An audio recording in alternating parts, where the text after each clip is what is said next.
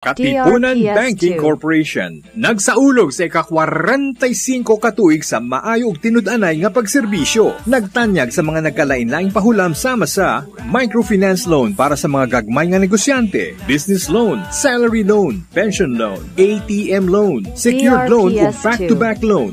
Graduate ka ba og 2-year or 4-year course? Be part of the Katipunan Bank family. Apply na. For more details, visit www.katipunanbank.com o sa ilang mga branches or offices near you. Katipunan Bank. Katabang sa kalampusan.